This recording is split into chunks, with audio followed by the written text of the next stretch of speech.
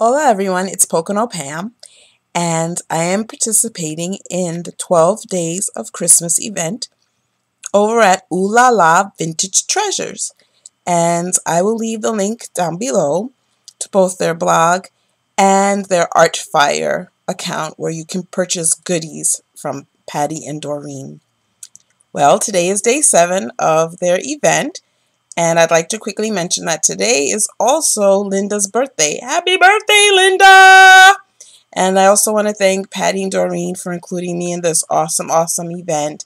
And please stop by and leave a comment on this video and the videos, you know, going forward or the um, posts going forward on their blog and check out all the great, awesome things that uh, the other scrappers and artists are doing. And if you leave a comment, you'll be eligible to win a prize from Patti and Doreen, which they will announce the very next day. So my I wanted to challenge my inner Susie Crafter, and she participated in day one of this awesome event, and make something really vintage and beautiful.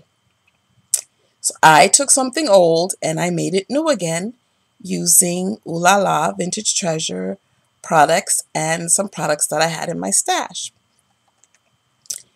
I purchased this wooden box from a yard sale. It was just a plain blue wooden box. And it was a more dull kind of blue. I painted over again with a slight crackle effect that you really can't see. And if I bring it too close to the camera, it would just annoy you. But I did paint it uh, blue. Real quickly, let me show you the inside of the box. That's what attracted me to the box in the first place.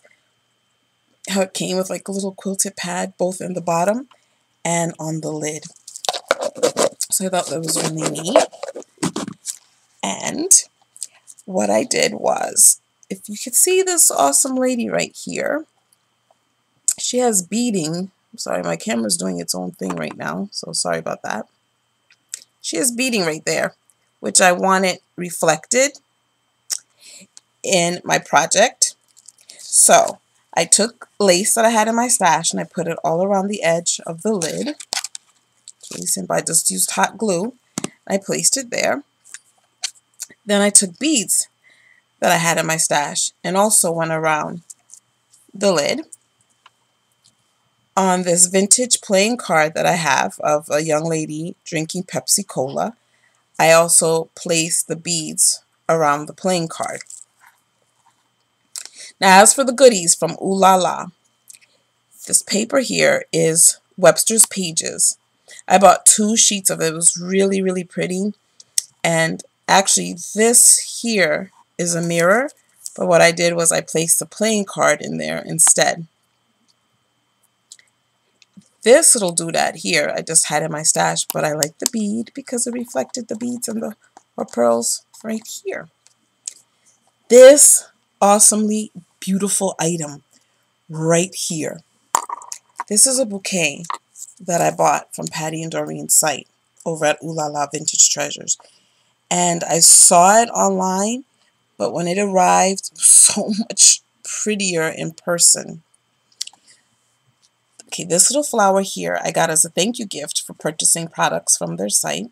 So I received three of those from Patti and Doreen. These two little roses here were in my stash.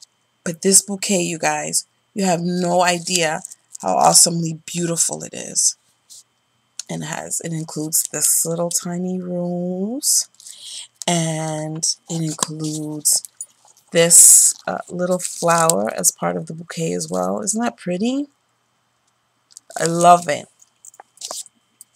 So what I did was, after adhering, uh, the, after inking the edge of the paper, like I cut it out to the shape of the lid, I adhered the paper onto the top of the lid. Then with a hot glue gun, I just applied this beautiful bouquet. Like it needs no more work. I mean, if, if you want to get one and spritz it up or add to it, but it actually, it needs no work at all. Just place it on any product and it um, project and it would enhance it greatly. It's just beautiful.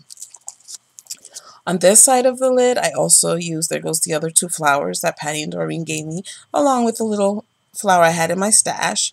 As I said, I bought two pages of this Webster pages off their site.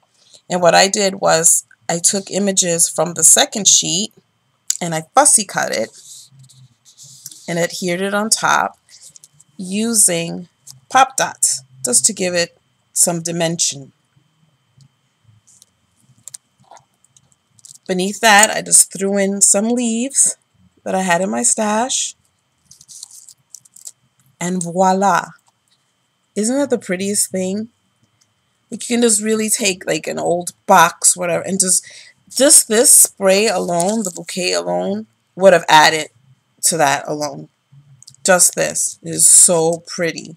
So I'm definitely going to order some more of these. And I had so much fun making this project. As I said, I wanted just to tap into my inner Susie crafter and make something really pretty and simple and shabby chic and vintage. And oh, those are all the things that Linda likes.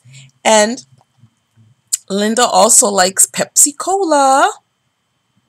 So this is a gift I made for Linda using goodies that I had in my stash and awesome products from Ooh La La Vintage Treasures. And this is for you, Linda. Happy birthday. I hope you like it. It you should be opening this today, huh? You should have gotten this already in the mail. But just one more peek so you guys can look. Love, I know you're tired of me saying that I love that bouquet, but I absolutely do.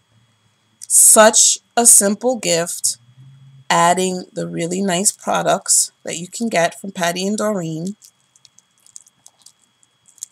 and make something really, really pretty. This can be used um, as a display, you know, somewhere in Linda's home or she can put it on her scrap desk and put some goodies in there.